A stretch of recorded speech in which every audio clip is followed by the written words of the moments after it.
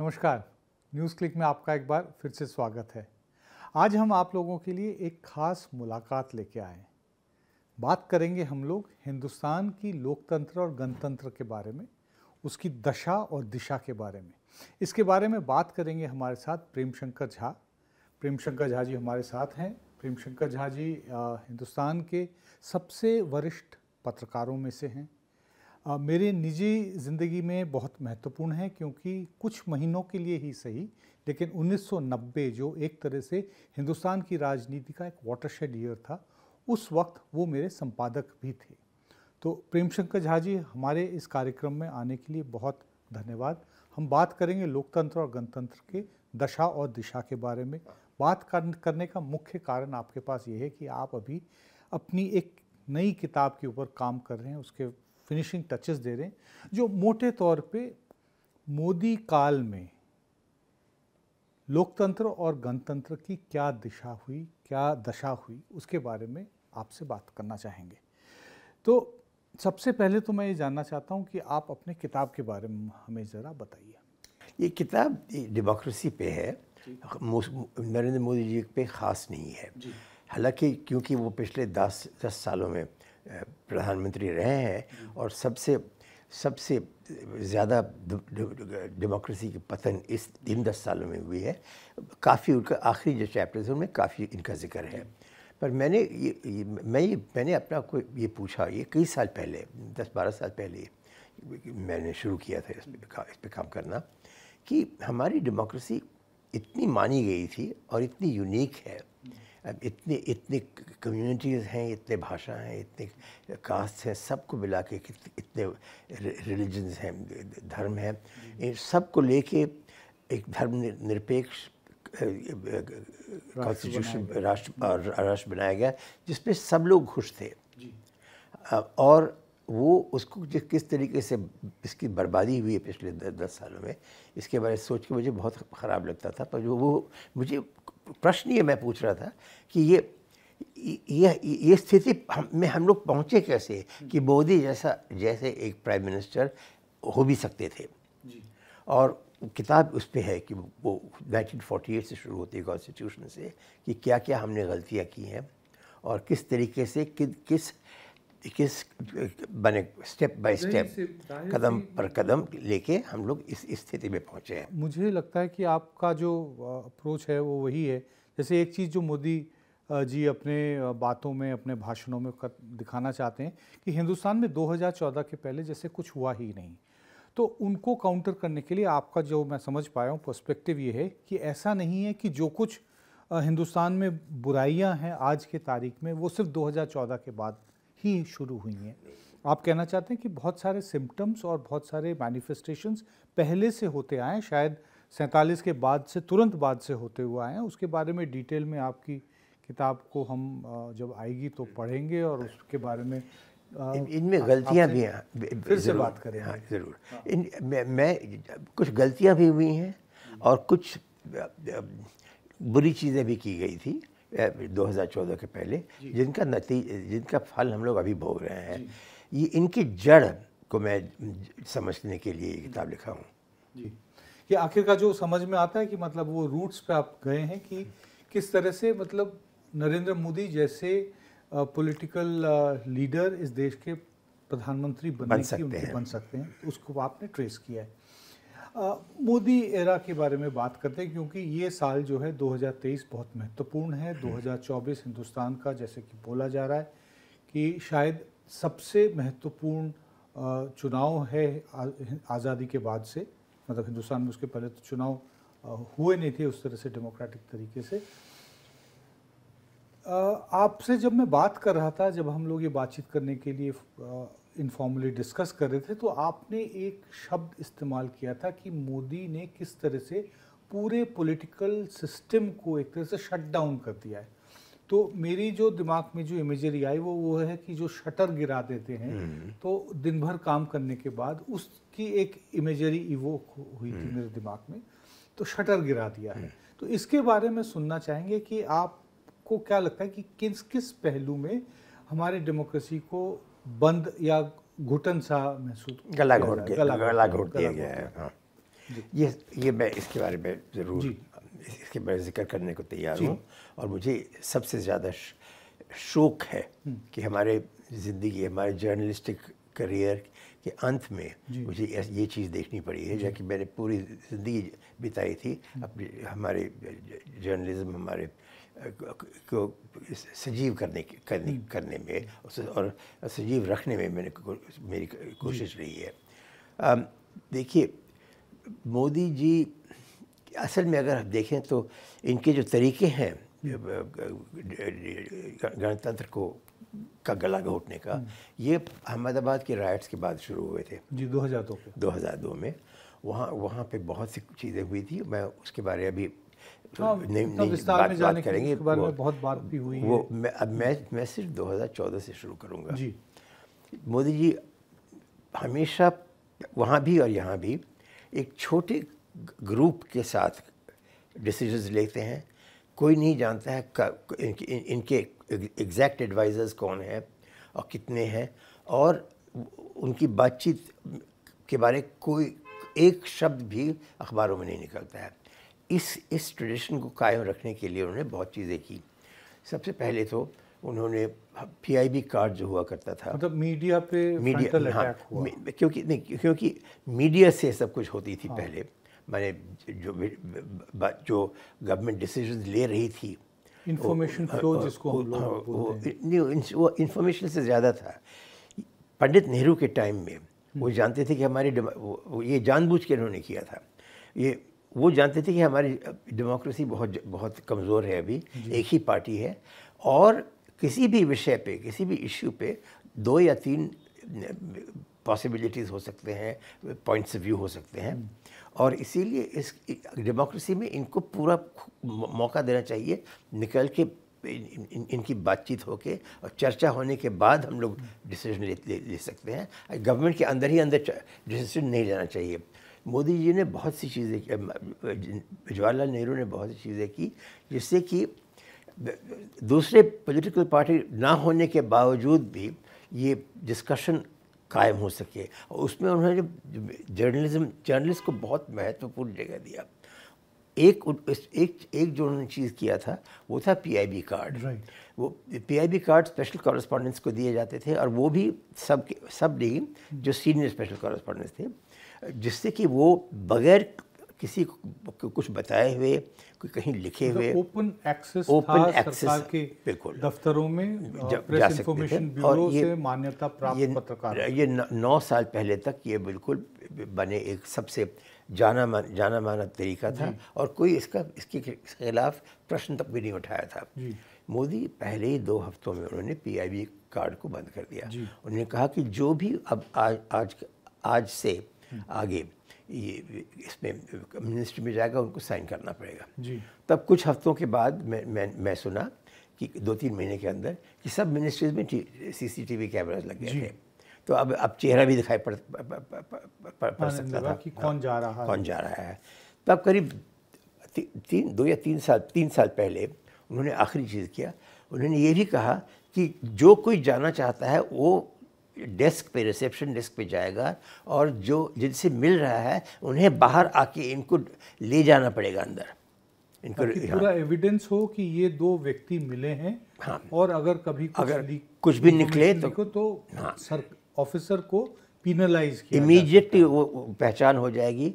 इसका मतलब है कि सब ऑफिसर्स की, की आवाज़ बंद हो गई। डर के माहौल में हाँ, काम कर रहे हैं। नेहरू जी समझते थे कि किसी भी डिसीज़न पे ब्यूरोक्रेसी के अंदर भी दो मत दो राय हो सकते हैं और दोनों का सुनना बहुत ज़रूरी है क्योंकि जो लोग ये अलग अलग अलग राय प्रकट कर रहे हैं वो भी इन सब्जेक्ट को समझ के और पढ़ के इनको समझ बूझ करने के बाद पूछताछ करने के बाद वो अपना अपने पोजिशन या अपने राय देना चाहते हैं। तो ये हमें सुनना बहुत ज़रूरी है।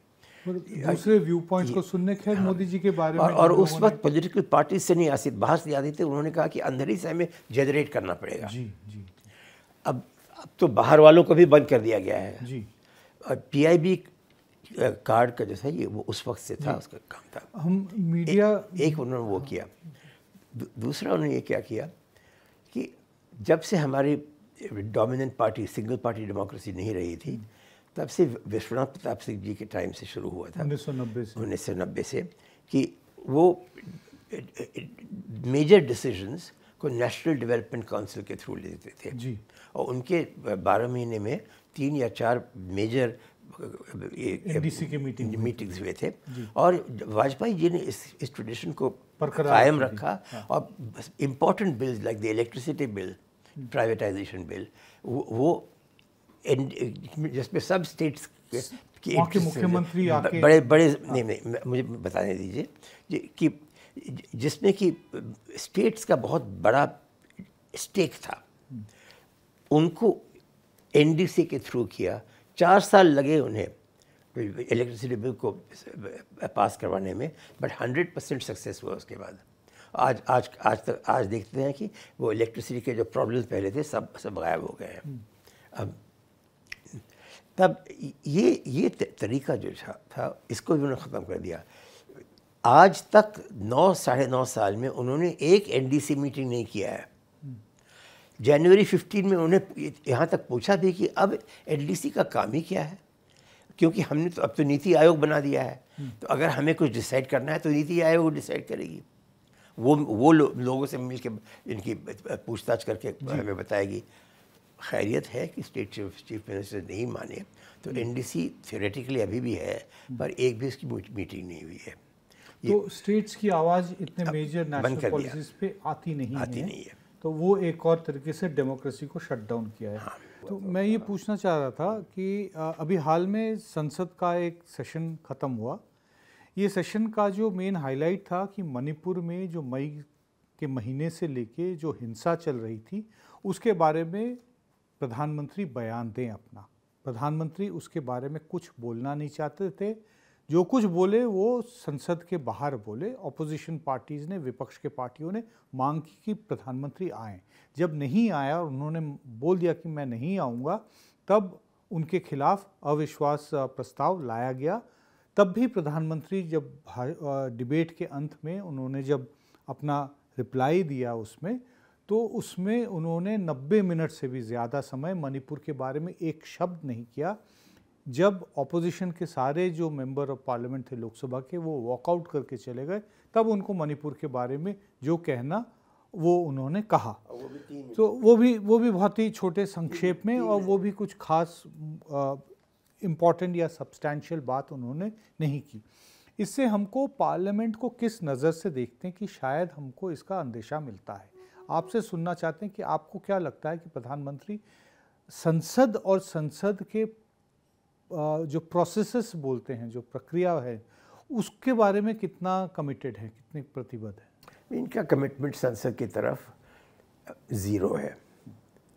ये इजिप्ट में 2010-2011 में एक प्रेसिडेंट इलेक्ट हुए थे वो अरब अरब डेमोक्रेसी रेवोल्यूशन में। हाँ अरब स्प्रिंग के Mohamed Morsi Mohamed Morsi president बनने के तीन महीने के अंदर सब कुछ बदलना चाहते थे और उन्होंने सुप्रीम कोर्ट को भी ख़त्म करके इस्लामिक कोर्ट बना बनाना चाहा था।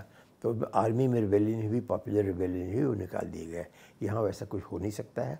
बड़ी मुल्क है और उनके बहुत बहुत फॉलोअर्स हैं। पर वो, जो वो, मो- मोरसी कोशिश कर रहे थे इजिप्ट में करना, वो असफल रहे, वो मोदी जी बहुत हद तक ज़्यादा हद तक उन्होंने, वो सफल हो चुके हैं, यहाँ पे। वो पार्लियामेंट की आवाज़ बंद करना चाहते हैं। आप जानते हैं कि जो जो मेजर बिल्स करते हैं, जो बड़े बड़े चीज़ें बदले हैं और सब सब जो बिल्स हैं, जिससे कि प्रेस फ्रीडम और और और क्या कहते हैं civil right civil rights organisations functioning इनको इनको ख़त्म करने के लिए वो वो बिल्स फार्मर्स के एजिटेशन जो भी। जो जो भी इन्हें करना था जो कि ये जानते थे कि इस इसके साथ अगेंस्ट अपोजिशन होने वाला है उसको वो पार्लियामेंट में घुसेड़ के विदाउट नोटिस बिल प्रेजेंट करके जबकि लोग नहीं जानते इसीलिए अपने कॉन्स्टिट्यूशन से आ भी नहीं सकते हैं। छोटे छोटे पार्लियामेंट में मिनिमम कोरम के साथ पास किए जा रहे थे और तीन तीन चार चार दिन में दोनों हाउसेज में पास करवा देते हैं। तो ये तो इसमें डिस्कशन करने का मौका ही नहीं दे रहे थे। इन इनको तो पार्लियामेंट से नफरत है। पिचानवे छियानवे के समय से स्टैंडिंग कमेटी का सिस्टम बनाया गया था ये सोच के कि चूँकि पूरे संसद को बिल्स को डिटेल में बहस करने के उसको डिबेट करने का मौका नहीं मिलता है इसलिए छोटे छोटे कमेटी के पास भेजा जाए जो डिटेल में स्टडी करेंगे उसकी रिपोर्ट बनाएँगे रिपोर्ट पहले सरकार के पास जाएगी सरकार उस पर अमल करेगी उसके बाद दोबारा से संसद पे आएगी और उसके बाद उस कानून के ऊपर चर्चा होगी और फिर पास या रिजेक्ट किया जाएगा। स्टैंडिंग कमेटी सिस्टम को एक तरह से बहुत ही अच्छा माना जाता था। 2014 हम्म। के बाद से स्टैंडिंग कमेटी सिस्टम का के बारे में आपकी क्या राय कि किस तरह से ये सिस्टम चली है? चली ही नहीं है। देखिए अब जो फार्मर्स मूवमेंट के, के जो बिल जो थे बिल्स थे वो स्टैंडिंग कमेटी के की रिपोर्ट के बेसिस पे नहीं बने थे। स्टैंडिंग स्टैंडिंग कमेटी पे दो बने थे इस, इस पे। एक में कुछ रेफरेंसेस थे कि या ये कि ये फार्मर्स माने रिफॉर्म कुछ चाहिए और सरप्लस बढ़ रहे थे हम्म। और F C I food corporation of India को ख़रीदना पड़ रहा था। हम्म। अब अब जिस जिस जिस प्रोग्राम में ये लोग देना चाहते थे सब में दे दी उसके बाद भी फ़ूड रॉट रॉट कर रहा था। हम्म। तो इस प्रॉब्लम को लेके स्टैंडिंग कमेटी ने रिपोर्ट्स बनाए थे। ये रिपोर्ट्स वो सुनी नहीं। मैं मैं उनको पढ़ा हूँ। उनमें एक दो बातें लेके वो अपना बिल बना के कर दिए जिससे कि ऑल कंट्रोल्स प्राइसेस पे और और, और सेल्स पर एक दफ़ा ख़त्म कर दिए जाए। मार्केटिंग ऑर्गेनाइजेशन जो स्टेट्स की गवर्नमेंट्स के से सबको ख़त्म कर दिए जाए और फार्मर्स को प्राइवेट सेक्टर के सामने घुटनों पे आना पड़े। अपने क्या कहते हैं क्रॉप्स को बेचने के लिए। और उस बार्गेन में फार्मर बड़ा छोटा आदमी है ये बड़े बड़े कंपनी से अम्बानी अडानी ये सब ग्रेट वेयर हाउसेस खोल रहे थे रूरल एरिया में गाँव में। तो इनके खिलाफ कौन कौ, कौ, कौ, कौन आर्ग्यू कर सकता था कि किस तरीके किस किस तरीके से जो पैसा ये देने को तैयार थे वो उनको लेना पड़ता। तो वो जानते थे कि हमारा तो हमारी तो ज़िंदगी ख़त्म हो जाएगी। अगर ये मिनिमम सेल प्राइस हट गया तो। और उसको बचाने के लिए वो वो लोग पाँच आंदोलन किया पाँच छः सौ लोग मारे मारे मतलब, हाँ, शहीद हुए। लेकिन लेकिन फार्मर्स एजिटेशन एकमात्र शायद एक ऐसा मूवमेंट है जो ज़मीन को लेके उसके पहले लैंड एक्विजिशन एक्ट बिल जो लेके आई थी मोदी सरकार 2015 में उसको भी उन्होंने वापस लिया था। तो एग्रीकल्चर सेक्टर में ज़्यादा परिवर्तन नहीं कर पाई है। बाकी जगह पे मोरलेस जो सरकार चाहिए, वो कर पाई है। एक चीज़ और अक्सर बात होती है, जब भी डेमोक्रेसी के बारे में, मोदी एरा में बात होती है, वो है कि इंस्टीट्यूशनल डीके मतलब हमारी जो संस्थाएँ हैं, जो हमारे इंस्टीट्यूशंस हैं, जो इंश्योर करते हैं कि हमारा लोकतंत्र और गणतंत्र उसी प्रिंसिपल्स पर चलता रहे, जिसके प्रति हम लोग प्रतिबद्ध हैं हमारे संविधान में। इलेक्शन कमीशन हुआ उसके अलावा एग्जीक्यूटिव के जो जो जो इम्पोर्टेंट पोजीशंस हैं जो हमारे इन्वेस्टिगेटिव एजेंसीज हैं आ, हम्म। कुछ महीनों पहले अपोजिशन पार्टीज़ ने चौदह अपोजिशन पार्टीज़ ने मिलकर सुप्रीम कोर्ट में रिट पिटिशन दायर किया था कि इन्वेस्टिगेटिंग एजेंसीज एक तरह से विच हंटिंग के लिए की जा रही है मुँह बंद करने के लिए किया जा रहा है आ, उस पर सुप्रीम कोर्ट ने वो एंटरटेन नहीं किया था लेकिन आ, फिर भी उनकी ये महसूस है और ये इस पर सेंटिमेंट बहुत स्ट्रॉन्ग है कि इन्वेस्टिगेटिव एजेंसीज का गलत इस्तेमाल किया जा रहा है अभी सुप्रीम कोर्ट ने इन्फोर्समेंट डायरेक्टरेट के डायरेक्टर का मतलब लगातार एक्सटेंशन किए जाना और उसके बावजूद सितंबर के 15 तारीख तक उनका कार्यकाल को बढ़ाया गया है और अभी कुछ पत्र अखबारों में रिपोर्ट्स भी आई है उनको एक नई पोस्ट क्रिएट की जा रही है चीफ इन्वेस्टिगेटिंग ऑफिसर सीडीएस के लाइन पे हम्म। उसको बनाए जाने की बात चल रही है। तो इन सब चीज़ों के बारे में आपको क्या लगता है कि इंस्टीट्यूशनल डीके और जो थ्रॉटलिंग ऑफ़ इंस्टीट्यूशन ऑटोनॉमी को जो कम किया जा रहा है? देखिए ये एक तरीके से ये मोदी जी की कमियों का नतीजा है। मोदी जी ज़्यादा पढ़े लिखे नहीं हैं। आप जो भी जो भी कहें इनकी पूरी बायोग्राफी है। आप भी आपने भी इन पे इन पे किताब लिखी है। आ, वो ट्वेल्थ क्लास के बाद या उस वक्त उस वक्त शायद ट्वेल्थ का क्लास था भी नहीं 1969 के बाद वो कॉलेज वॉलेज नहीं गए थे। अगर कुछ बाद में बोलते हैं कि उन्होंने मेरे को जो बताया था कि उन्होंने कॉरेस्पॉन्डेंट से बीए किया था दिल्ली यूनिवर्सिटी से उसके बाद गुजरात यूनिवर्सिटी से प्राइवेट स्टूडेंट के तौर पे उन्होंने एमए किया था। वो बताया और अभी तक उसके बारे में कोई डेफिनेटिव डिनाइल्स पर बा, बात यह है कि पढ़ना और इम्तहान दे के जी। सीखना एक चीज़ है और कॉरेस्पॉन्डेंस ले लेना जब भी पर्टिकुलरली जबकि आप चीफ मिनिस्टर और और प्राइम मिनिस्टर हैं वो अलग चीज़ है। कोई प्राइम मिनिस्टर कभी किसी चीज़ में फेल कर सकता है।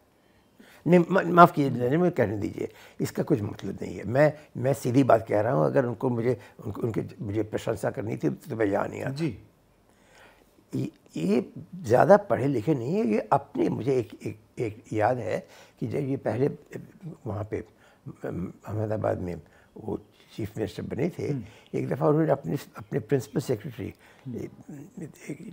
जो उनके साथ बहुत साल रहे हम्म। उन, उन, उन, उनको ये बहुत मानते थे और उन्होंने एक बार इनके बारे कहा उस वक्त वो टीवी पे आते आया भी करते थे कि जब मैं आया इस इस पद पे तो मैं फ़ाइल नहीं पढ़ना जानता था ये थे ये मिश्रा जी का कोई कोई शायद एक मिश्रा थे इन्होंने मुझे सिखाया।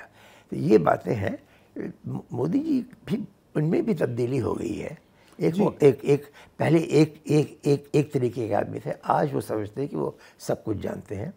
और और ये, ये, ये इसीलिए ये, ये मैं इतना ही कह रहा हूँ कि काम जो इनके सामने सामने जो प्राइम मिनिस्टर का काम है उसको करने के काबिल एजुकेशन इनको नहीं मिली है। हाँ। जी। और इस, इस, इस, इस, इसी से क्या सब कुछ शुरू होता है। वो एक ग्रुप के साथ ट्रस्टेड ग्रुप से ग्रुप के ट्रस्टेड ग्रुप ऑफ़ एडवाइजर्स वो लोग पढ़ते हैं वो उनको समझाते हैं उनके इसका तत्व लेके और तब फैसले लेते हैं और मोदी जी मेनली अपने पार्टी और अपने पर्सनल प्रमोशन में लगे हुए हैं और और ज़्यादा कुछ नहीं करते हैं। वो इलेक्शंस को देखते हैं। वो India's image abroad and his personal image in India and abroad in ती, तीन चीज़ों पे वो हमें पूरे यानी पूरा नज़र रखते हैं और ज़्यादा चीज़ें ये डेलीगेट करते हैं। तो अब इन, इन इस इस बेसिस पे तो आपका एक तरीके से ये जैसे कि king and council of adviser हुआ करता था हाँ, वो, वो मामला हो गया। राजा और राजा के बस। गिने चुने एडवाइजर्स हाँ, हुए हाँ एडवाइजर्स अच्छे हुए तो ठीक है जैसे अकबर के एडवाइजर्स थे इबादत खाना में उन्होंने दीन इलाही निकाला वहाँ पे हम्म। और यहाँ पे मोदी जी हिंदुत्व निकाले हैं। जी हिंदुस्तान के डेमोक्रेसी के बारे में जब हम बात कर रहे थे तो ये आपने कहा था कि 2014 के पहले भी हम्म। कमियाँ थीं। हम्म। हिंदुस्तान की जनता में हमेशा ये एक आ, वो रही रही है मतलब कॉन्फिडेंस रही है कि और कहीं नहीं हमको कोर्ट में जाके हमको अदालत में जाके हमारी सुनवाई ज़रूर होगी। ये मतलब हिंदुस्तान की जो आवाम है जो जनता है उनको कोर्ट पे भरोसा है। तो कोर्ट्स पे जो जुडिशरी है उसको किस तरह से अंडरमाइन किया गया है उसको किस तरह से अपने सिस्टम के आ, में कोऑप्ट किया है मोदी काल में क्या हुआ है? देखिए इसमें डिसाइसिवली कहना कहना बहुत मुश्किल है क्योंकि जजेस बात नहीं करते हैं। जी। पर इनके इनके एक्शन से ज, ज, ज, ज, समझ सकते हैं कि मुझे होता है कि देखिए इनको भी किसी न किसी तरह किसी की पहुँच से बता समझाया गया है कि देखिए अगर आप फेवरेबल डिसीजंस देंगे हम्म। तो आपकी आगे तरक्की बहुत होगी। अब देखिए जस्टिस सदाशिवम। जी। ये उस हाई कोर्ट बेंच के सुप्रीम कोर्ट बेंच के जज थे जिसने कि original first report of the SIT को उन्होंने लेके कहा था कि ये मोदी एग्जॉनरेट हो गए हैं। तो उसके बाद जब एमिकस क्यूरिए का रिपोर्ट को इसको नहीं करने का इस पर कोई ज़िक्र नहीं था तो सुप्रीम कोर्ट में प्रोटेस्ट के प्रोटेस्ट के ज़रिए जब प्रोटेस्ट हुई तो उसको फिर से उसी एसआईटी के पास भेजा कहा कि अब आप एमिकस को क्यूरी की रिपोर्ट को देख के इसको मॉडिफाई कीजिए। तब फाइनल रिपोर्ट आया। उनको केरला के सदाशिव को उन्होंने केरला का गवर्नर बना दिया। Chief justice Ranjan Gogoi Ranjan Gogoi Ayodhya judgement में उस समय चीफ जस्टिस थे उनका वो वो, रा, वो राज्यसभा में आ गए। जी। हाँ। अब इस मैं और अब्दुल जस्टिस अब्दुल नज़ीर अभी हाल में गवर्नर बनाए गए हैं। फातिमा बीबी वो भी जज थी।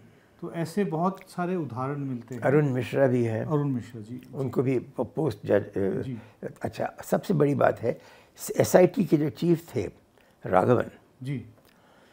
वो उनको पहले तो उन्होंने 2014 या 15 तक उस उस एसआईटी को कायम रखा। उनके सबको पैसे मिलते रहे उनके लाल बत्ती वाले गाड़ी भी गाड़ियाँ भी थी बड़े बड़े बंगले बंगले सब कुछ थे। हम्म।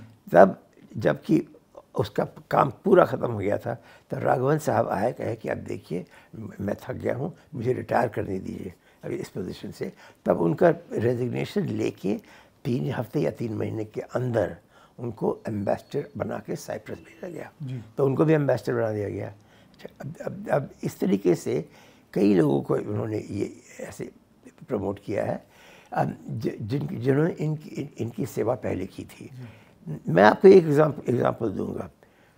इन्वेस्टिगेटिंग ऑफिसर जो सी बी आई के थे हरिन पांड्या के मर्डर केस में जिन्होंने छः हफ़्ते में पूरा केस बना के इकतीस लोगों को गिरफ़्तार भी करवा दिया था। उनका नाम था Y C Modi ji. Y C Modi कौन क्या हो के रहे बाद में? वो हमारे एन आई ए के चीफ बनाए गए उसी मोदी पीएम अब पीएम मोदी से। ये ये ये चीज़ें अपने अपने पर्सनल प्रेफरेंस वाले लोगों को, को आगे बढ़ाना। देने का और और इनसे काम करवाना। और उनसे उनका उदाहरण दिखाया जाता है औरों को कि अगर आप हमारे लिए फेवरेबल जजमेंट दें तो शायद हम भी आपके लिए कोई पोस्ट रिटायरमेंट पोजीशन का एल्योरमेंट दे सकते हैं। ये बात बात अब, अब बस भी देखिए काबिलियत ये है कि कोई गवर्नमेंट का रूल तोड़ा दी जा रहा है। जी। जो जो चीज़ें हाँ, इन लोगों ने की हैं ये, ये सब रूल के अंतर्गत हाँ ये इनकी पूरे हक में है रूल के अंतर्गत है पर फिर भी उसका मैसेज पहुँच गया है। जी आपसे आखिरी सवाल उम्मीद कहाँ से दिखाई देती है आपको? अब मुझे उम्मीद के लिए मुझे दो चीज़ें चाहिए। जी। एक तो हो गया है अपोजिशन एक इकट्ठे हो गई है। मैं तो मेरे मुझे मुझे पूर्ण विश्वास है कि बीजेपी की वोट जो है घटेगी पर ज़्यादा नहीं घटेगी। जी। सैंतीस परसेंट पे है। अगर वो पैंतीस चौंतीस पे भी आ गए तो वो भी बहुत बहुत बड़ी बात होगी।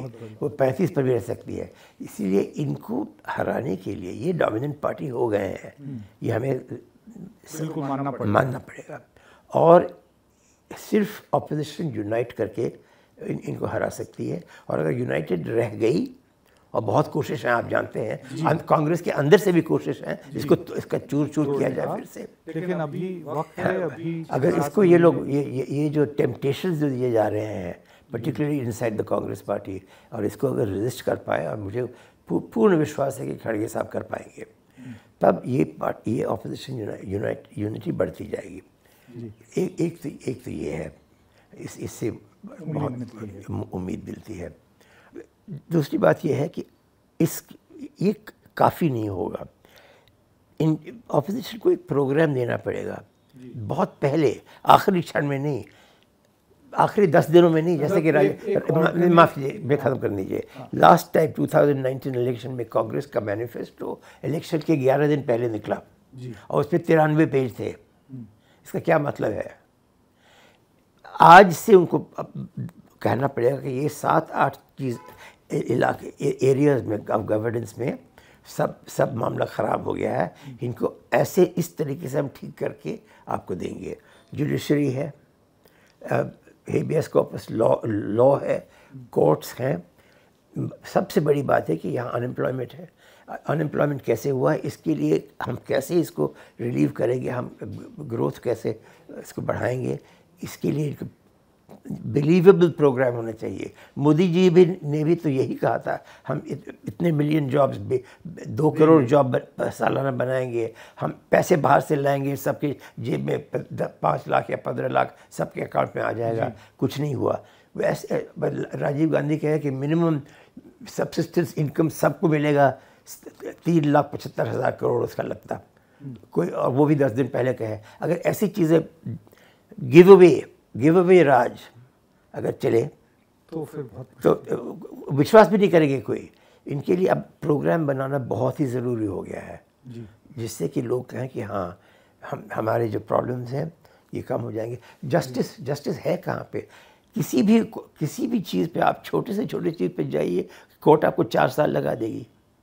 अगर आप कुछ गलती करते हैं आप ख़ास करके अगर आप पॉलिटिकल चीज़ में आप शामिल हो जाए और आपसे कोई कोई भी गुस्सा हो जाए उसको रंज हो जाए ओके तो आपको एक कोर्ट में नहीं आपको तीस जगह तीस कोर्ट्स में केस केसेस डाले जाएँगे आपके खिलाफ।